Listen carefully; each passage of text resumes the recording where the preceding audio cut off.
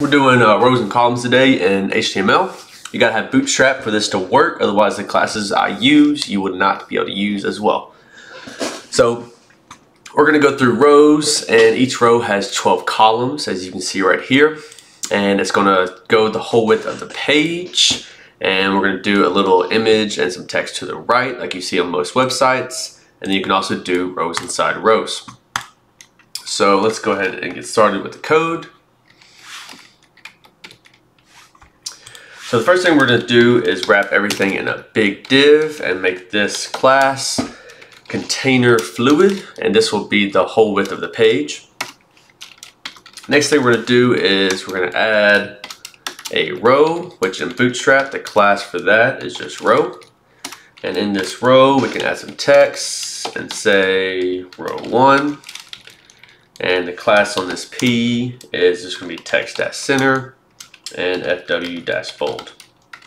So if you want to save that and you can run it locally, I'm using Angular, so ng serve. And now we will go to the localhost and you can see row one. And if you want to inspect the element, you can see that all the blue, that's the whole row.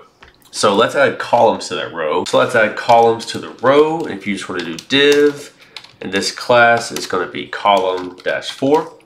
Now if it's four columns and each row has 12 columns, we are going to do 12 divided by 4, which is 3.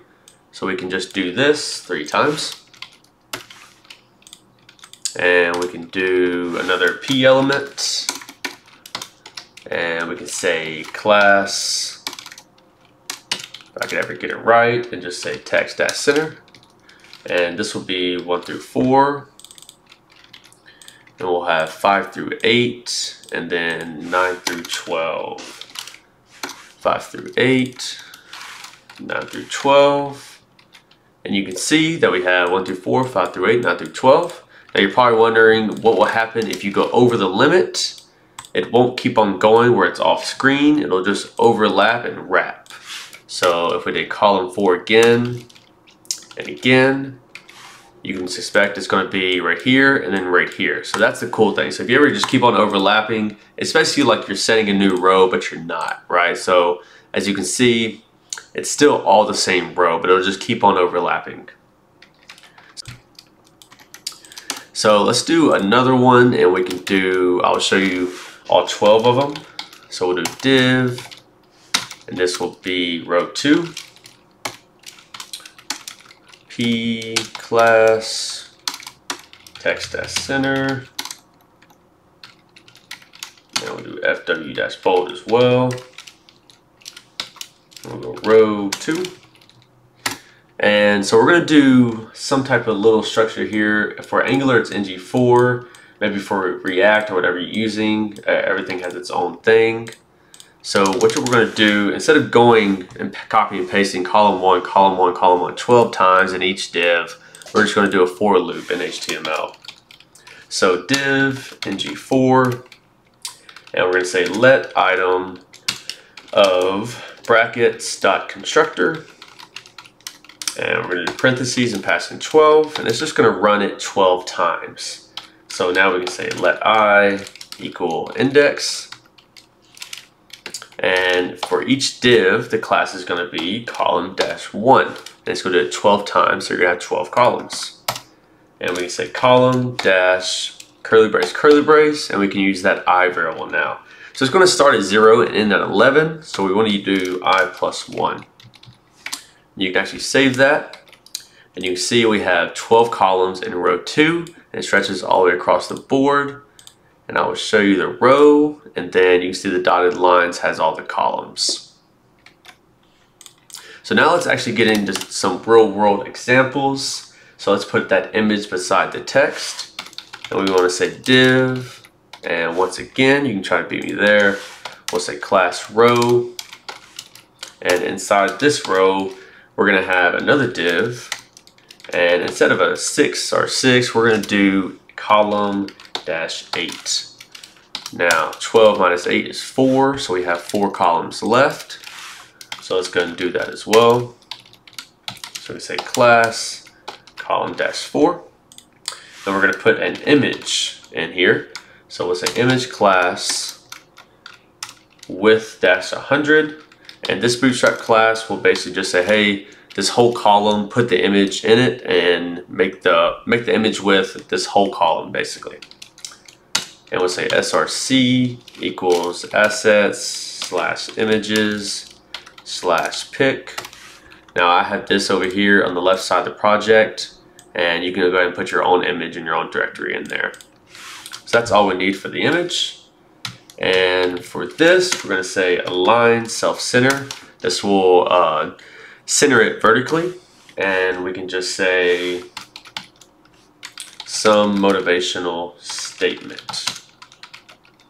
So we see this all the time on a lot of websites, whether you're shopping or ESPN or really anything. So if we tab over, you can see we have the image and then the text to the right.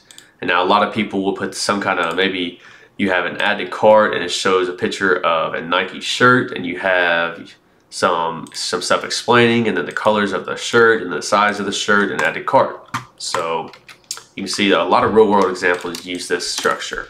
Next we're going to put some rows inside of rows. I'm actually just going to copy and paste this. It's easier to me explain it and then to just code it and explain it. So basically what you're going to do is you're going to have a overall div and it's going to be a row and then you see we have the text like we've done every time. And we're going to have two columns, right? So it's going to have a column 6, which is left side of the page, and then the column right, which is the right side of the page. So you can see here the first column, I'm sorry, the first column and then the second column. And then inside this column, we're going to have rows. So you're going to have three rows that span on six columns.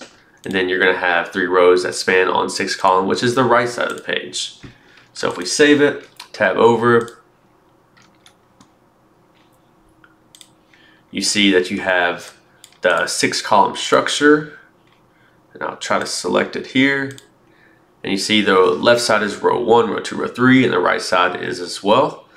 And now you can keep on going with this if you wanted to, and you can put more rows or more columns. You could continue to do, put another div inside of here and say this is class column three, and this is inside row two, column three. And you see here that inside row two, column three, and it spans half of the column six. So if you inspect the element, you can see that the purple is the right side and it'll go the whole way half the column. The last thing I'll show you is some custom CSS. So if you organize it correctly, this is the cool part. You say dot row, and maybe you want to make all the column ones background red. And you see here that they're all red. Maybe you want to do it to the column fours only. Or maybe you have a table like this in right here and you just want to do only row column threes. So we can say column dash six and then dot column dash three. Move this there. And you see it's red.